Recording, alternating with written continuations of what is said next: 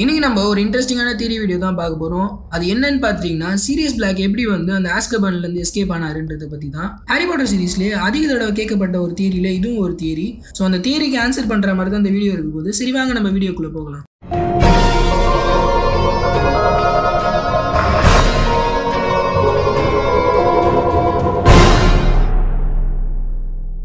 Serious black மேலே ஒரு தப்பான அனிகேஷன் வச்சதுனால சீரியஸ் பிளாக் வந்து கோவப்பட்டு பீட்டர் பெட்டிகுருவை சாவடிக்க போயிருப்பாரு. ஸோ இவர் பீட்டர் பெட்டிகுருவை சாவடிச்சிட்டாருன்னு சொல்லி தான் இவர் ஆஸ்கபன்லேயே போட்டிருப்பாங்க.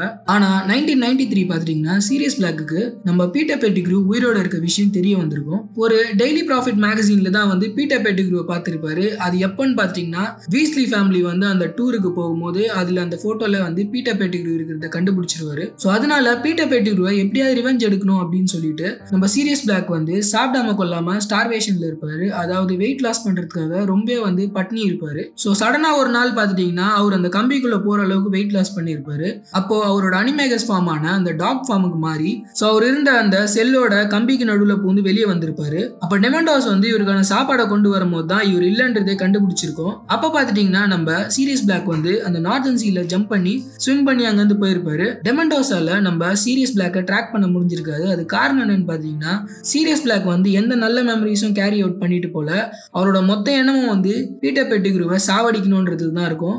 ஸோ அதனால வந்து அது ஒரு வெஞ்சன்ஸோட போனதுனால நம்ம டெமெண்டோஸால ட்ராக் பண்ண முடிஞ்சிருக்காது. ஸோ இதுதான் வந்து ஆஸ்கபன்லேயே எந்த உதவியும் இல்லாமல் வெளியே போன ஒரே ஒரு கேஸாக இருக்கும். ஸோ சீரியஸ் பிளாக் தான் வந்து ஃபர்ஸ்ட் எந்த உதவியுமே இல்லாமல் அந்த ஆஸ்கபன்லேருந்து தப்பிச்சு போயிருப்பாரு. அதுக்கப்புறம் நைன்டீன் நைன்டி சிக்ஸில் பார்த்துட்டிங்கன்னா பெலாட்ரிக்ஸ்லாம் வந்து அந்த ஆஸ்கபனை உடச்சி வெளியே வந்திருப்பாங்க. இதுவும் வந்து அதுக்கப்புறம் நடந்திருக்கும். ஆனால் சீரியஸ் பிளாக் தான் ஃபர்ஸ்ட் ஃபர்ஸ்ட் எந்த ஹெல்ப்பும் இல்லாமல் வந்தவருன்னு சொல்லியிருப்பாங்க.